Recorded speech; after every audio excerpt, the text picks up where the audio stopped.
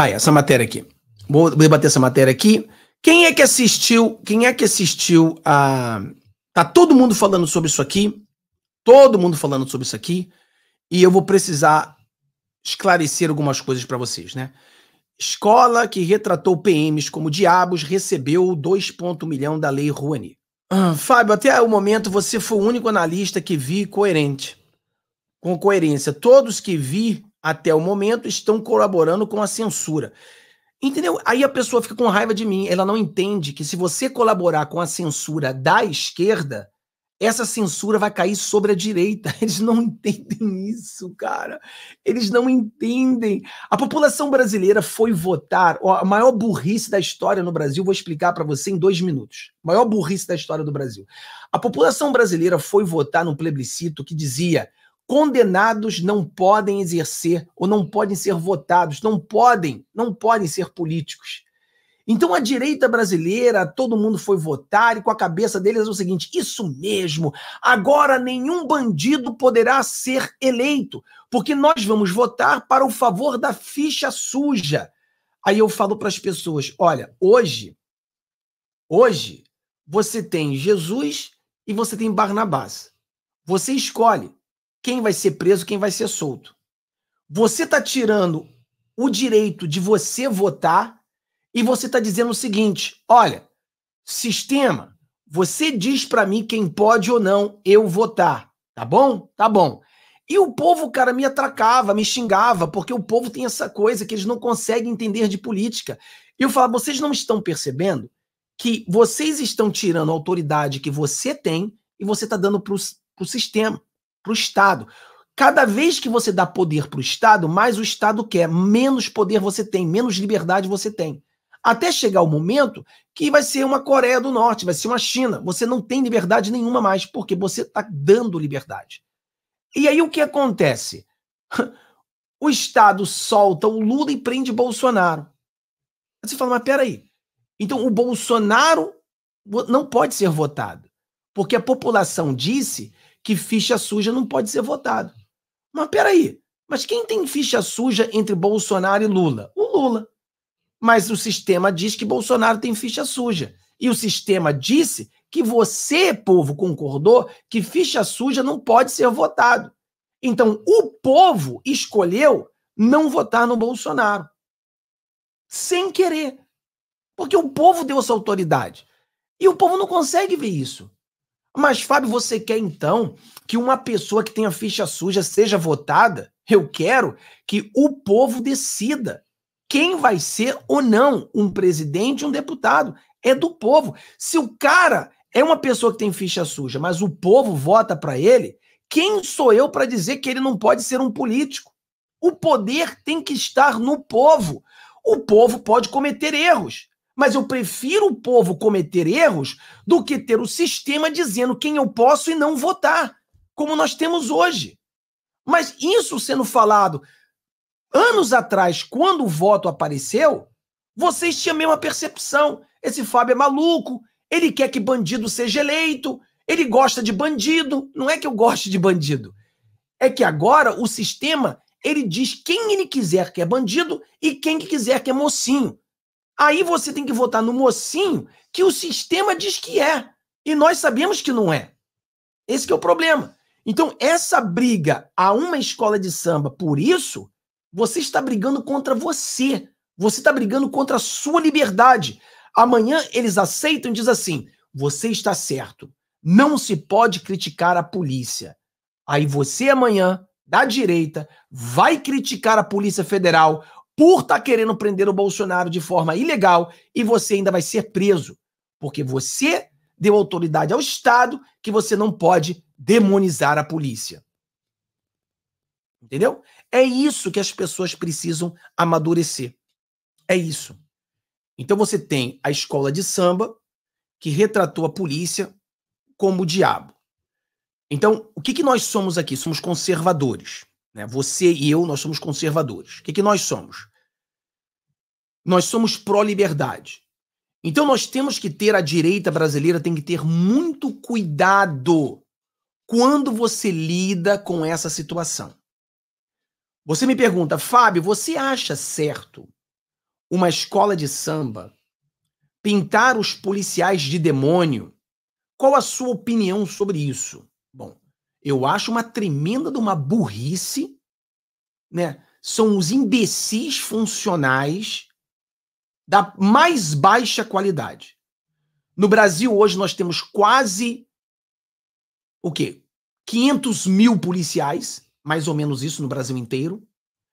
E nós não temos, eu diria que menos de 1%, eu diria que 0,001% da polícia são ruins.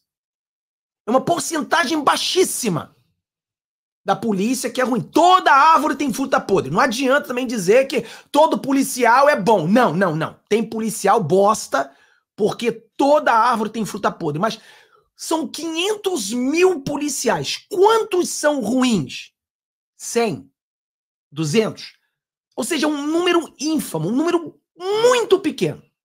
Então a escola de samba, com uma visualização imbecil, baixa, ela mostra à sociedade que ela está endemonizando a polícia, literalmente. Ponto.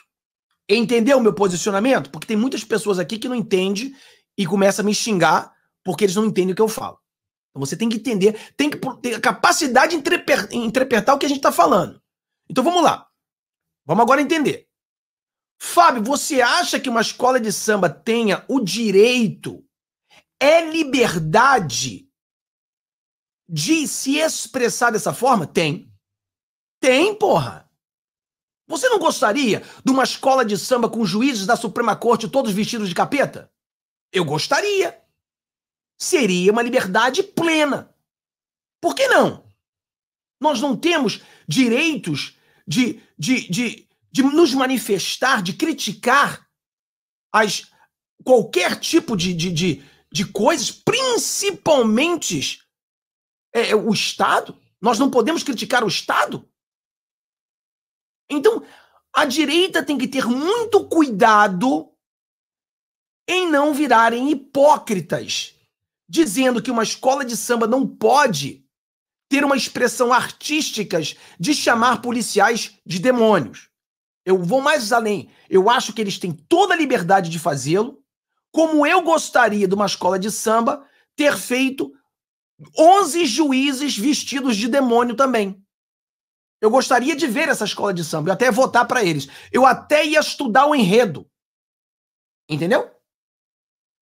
É direito de liberdade, é liberdade da, da, da arte.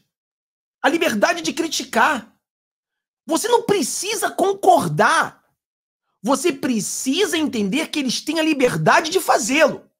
Agora, porra, dinheiro do nosso bolso dado para eles, aí a gente entra em outro contexto. É outro contexto. Por isso que é complicado falar com vocês sobre certos assuntos. A direita não tem problema que eles critiquem a polícia. Nós discordamos, mas está no direito deles. Agora, por que, que o nosso dinheiro é usado para escola de samba? Repito, eu acho que muitas das pessoas ali na escola de samba são pessoas boas. A escola de samba produz milhares e milhares de trabalho. Por isso que eu não sou a favor terminar com o carnaval. Vá se você quiser, não quer, não vá. Mas quantas costureiras fazem dinheiro, quantos empresários fazem dinheiro através do carnaval? Então, o carnaval, ele traz muito dinheiro para muitas pessoas. Eu não gosto do carnaval, nunca participei do carnaval, não tem problema, eu não vou pro carnaval. Você não gosta? Não vá. Então a gente tem que ter essa capacidade. Agora, a gente sabe que muitas escolas de samba estão tá envolvidas com tráfico, muitas escolas de samba estão tá envolvidas com os bicheiros, todo mundo sabe disso. Mas eu não posso é, fechar, acabar com o carnaval por causa dos bandidos. A gente tem que tirar o carrapato do boi. Sempre falei isso para você. Então a gente tem que ter muito cuidado com essas críticas. Eu vi, por exemplo, a Oeste ontem e discordei com quase tudo que eles falaram sobre isso. Não, que não tem que uma queixa-crime, tem que prender, tem que investigar. Eu falei, não, cara. Como é que os caras estão tendo a liberdade de expressão deles? Eles estão criticando uma instituição do Estado. Nós deveríamos estar lutando e dizendo: parabéns, vocês estão criticando a polícia. Eu queria ter o mesmo direito de criticar o STF. Eu queria ter o mesmo direito de criticar o Lula. Eu queria ter o mesmo direito de criticar os ministros do Lula. É isso que nós deveríamos estar contando. E não dizendo que eles não têm o direito de fazê-lo. Esse é o problema. Se você acha que uma escola de samba não pode botar policiais fantasiados de demônio, porque isso aí é, fere a nossa Constituição, como é que você acha que a gente pode, então, é, botar um juiz vestido de demônio? Também feriria a nossa Constituição. Não? Então eu acho que nós temos que entender o que é liberdade. Você não precisa concordar, mas as pessoas têm que ter a liberdade de fazer aquilo que você não concorda. Isso é coerência. Isso é coerência. E a direita, às vezes, sai da coerência e, e fica muito hipócrita, né? Ah, você quer criticar o Alexandre de Moraes? Quero. Posso criticar a polícia? Não, não pode. Porque se você tem um assalto, quem é que você vai chamar? Se você for roubado, você vai chamar quem? O Batman? Ué, peraí. Se você for preso, quem é que vai te julgar? O Batman? Você está criticando o Alexandre de Moraes, que é um juiz? Você está criticando um juiz. Entendeu? Então a gente tem que ter. Pessoal, a crítica, ela não precisa ser aquilo que você concorde mas tem que ter a liberdade de expressão, tem que ter a liberdade. Nós temos que ter direito de criticar as instituições do Estado. Porra, se eu não posso criticar uma instituição do Estado, meu Deus do céu, então eu vou criticar quem? Nós pagamos os, os nossos impostos, é para isso. Então a gente precisa criticar. Entendeu? Então eu acho que esse é um grande problema. Entendeu? E aquela coisa, não coloque palavras na minha boca. Eu não concordo com eles, mas eu concordo que eles têm o direito de criticar. Tomara que vocês entendam o que eu estou falando. Entendeu? Não pode ter liberdade para bandidos, não. Não entendi. Não entendi absolutamente nada do que você está dizendo. Não pode ter liberdade para bandidos. Não entendi. Fábio, a revolta contra a escola de samba é porque ela usou dinheiro público para o desfile. Outro aspecto, a escola é bancada pelo PCC. Bom, não podemos dizer que a escola é bancada pelo PCC. Existem questões que têm que ser investigadas para saber existem escolas bancadas pelo PCC, não podemos generalizar. E outro, sim, que nosso dinheiro é usado para isso é uma vergonha, concordo, mas essa não é a crítica. Essa não é a crítica. Muitos querem prender, muitos querem criminalizar, e aí você você está sendo hipócrita. Esse é meu ponto. Eu achei que a polícia era uma autoridade, aí eu acordei, autoridade é o Supremo. Não, você acordou. Autoridade, na verdade, somos nós. Só que no Brasil, o povo decidiu pegar a autoridade que tem e dar para o Estado. Quando você diz que uma escola de samba não pode criticar a polícia, você está dizendo o quê? Que a polícia tem mais autoridade do que você. Quando você diz que uma pessoa que tem ficha suja não pode ser votado para um cargo público, você está fazendo o quê? Está dando sua autoridade para o Estado. Então, o povo brasileiro decidiu dar autoridade ao Estado. Então, nós somos os poderosos. Autoridade é o povo, mas o povo entrega a autoridade dele para o inimigo, infelizmente. O que você acha quando eles de Jesus nos desfiles passados? É a mesma coisa. Você acha que eu iria ridicularizar Jesus em uma coisa? Não mas eles têm o direito de fazê-lo. Ah, Fábio, tem que ser proibido. Eu não sou pró a proibição, pessoal. Por que, que vocês entendem o seguinte? Você é um cristão, então você acha que a escola de samba tem que ser proibida a, a, a fazer coisas contra os cristãos. Você cria esse tipo de lei, amanhã esse tipo de lei será usado contra você. Entendeu? Amanhã você não poderá criticar o demônio. Amanhã você não poderá criticar o que eles querem. Então é que eu estou falando. O problema da liberdade é que muitas pessoas não estão preparadas para a liberdade. É o que a gente acabou de falar. Você quer liberdade ou você não quer liberdade? Se você quer liberdade, você vai ter que aceitar que a outra pessoa ela critique a sua religião. Ah, mas isso não é justo. Você quer liberdade ou você não quer liberdade? Entendeu? Esse é o problema. Se você vai num país muçulmano, você não pode criticar os muçulmanos. Mas você também não pode fazer nada pró Jesus ou qualquer outra religião que você é morto. Aquilo ali, você quer aquilo? Você quer que o Brasil seja assim? como um, um Irã da vida? Não tem liberdade. Então, o problema da liberdade, pessoal, ela é muito mais, muito mais complexa. Porque a liberdade não é liberdade daquilo que você gostaria que as pessoas falassem. Liberdade é você dar a liberdade para a pessoa poder te xingar. Aqui nos Estados Unidos, o cara tem a liberdade de te xingar. Você pode xingar um policial se você quiser. Não quer dizer que você faria. Mas a liberdade é isso. Só que as pessoas não têm como fazer isso, né? Fábio, você e todos os brasileiros queriam ter o direito de criticar, mas não tem. Liberdade de falar ou criticar é só para um lado. Concordo contigo em vários pontos, em vários aspectos. Mas se nós continuarmos, ao invés de lutar pela liberdade plena, lutar para censurar a liberdade dos outros, nós estamos dando mais poder ao sistema para censurar geral. Esse é meu ponto, que talvez você não esteja entendendo. Mas, não, mas a, a, direita não entende, cara. Como eu falei para vocês, a direita ela tem pitadas de esquerda e elas querem censurar um lado lutando contra a censura do outro. Ou seja, eles não entendem porque é isso que eles querem. Eles querem o poder de censurar todos. E aí a, a, direita fala: ah, mas eu tô sendo censurado, a esquerda não. Porra, você tá lutando para que ele também seja censurado ou você tá lutando para que você não seja censurado? É tipo o bandido que roubou o banco entre cinco. Cinco bandidos roubam um banco, um é preso. E aí ele está reclamando, né? Porque se os outros não foram presos, eu tenho que ser solto. Falei, não, meu filho, os outros têm que ser presos também. Você não tem que ser solto, não. Tem que buscar e prender os outros também. Então as pessoas elas caem nessa armadilha do sistema o tempo todo. Ao final do dia, por que, que o STF é tão poderoso? Porque o povo deu poder ao STF. Por que, que o povo deu poder ao STF? Porque o povo foi enganado com essas coisas como agora, a entregar o seu poder sem perceber que estão entregando.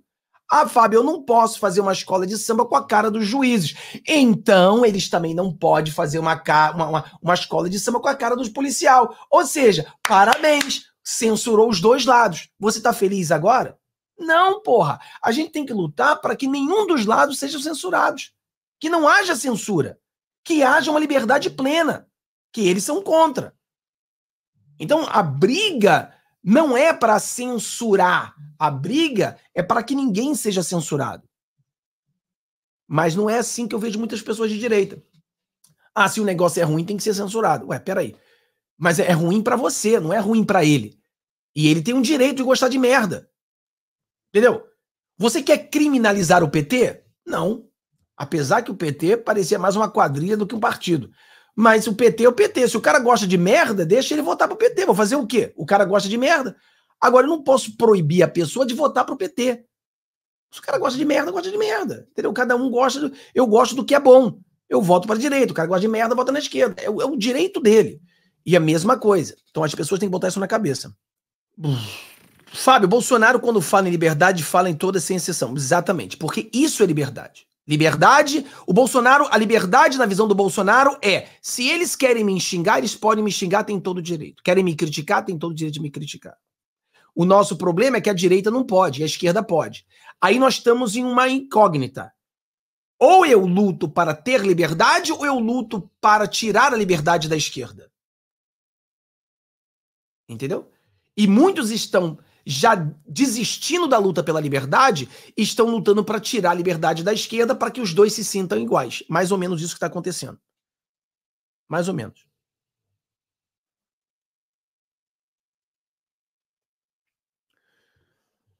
Quem demonizar os 11 do STF vai para papuda no final do desfile. Só quem pode é a esquerda. Por isso que esse tem que ser nosso debate.